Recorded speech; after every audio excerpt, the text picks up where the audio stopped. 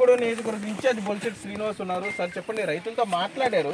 వారి బాధలు కష్టాలు ఏంటంటే ఏమనిపిస్తుంది మీకు? కన్నీళ్ళు వస్తూ ఉన్నాయి. ఎందుకంటే ఒక రైతు అయితే మన ఎదురుగుండానే ఆత్మహత్య ప్రయత్నం చేసిన సందర్భం మనం చూసాం.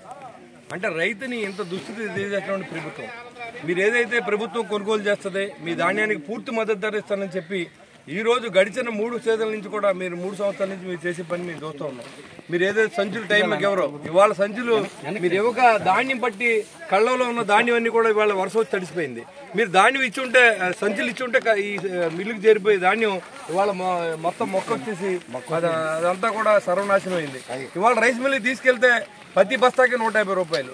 ఇవాళ మీరు ఇచ్చి ట్రాన్స్పోర్ట్ ఛార్జెస్ మూడు వందల యాభై రూపాయలు అయితే ఐదు వందల రూపాయలు లేకుండా ఏ లారీ రావట్లేదు. ప్లస్ వెయిటింగ్ డబ్బులు కూడా రైతుని డిమాండ్ చేస్తా ఉన్నారు. లారీ రావట్లేదు సంచులు ఇవ్వట్లేదు పేమెంట్ ఇవ్వట్లేదు. రైతు మళ్ళీ తిరిగి పాతిక వేల రూపాయలని మళ్ళీ అక్కడ ఒక లారీకి ట్రాక్టర్కి ఇచ్చి రైతు మీద కాళ్ళు పట్టుకొని దింపించవలసిన పరిస్థితి.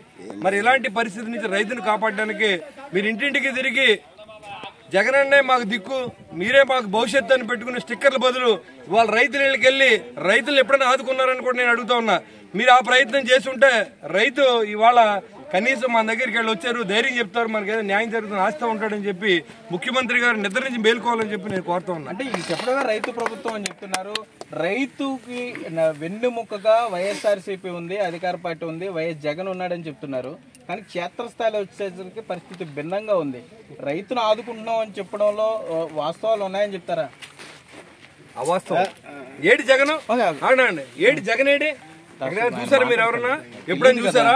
ఆయన మీటింగ్ వస్తేనే పరదాలు కట్టుకుని రావాలి.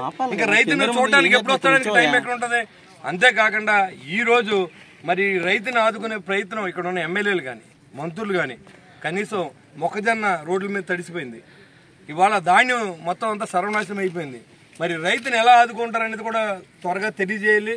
లేని పక్షంలో జనసేన పార్టీ తరఫున రాష్ట్ర వ్యాప్తంగా ధర్నా చేయడానికి మా నాయకుడు ఆదేశాల మేరకు అన్ని క్షేత్రస్థాయిలో పరిశీలన చేస్తా ఉన్నాం. మరి ఇటువంటి రైతులు ఆత్మహత్యకు పాల్పడుతున్నారు అంటే దానికి